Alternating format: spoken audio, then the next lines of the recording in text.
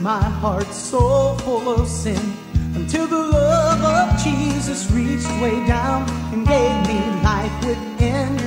He loosed all the shackles of sin and set my spirit free.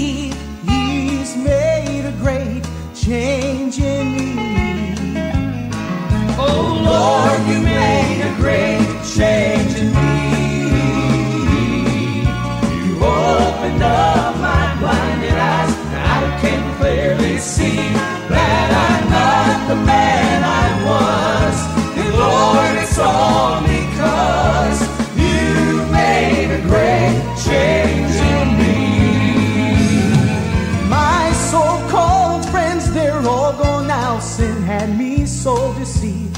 And when I told them I was born again, they turned their backs on me.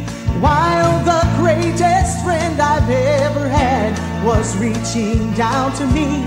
And when my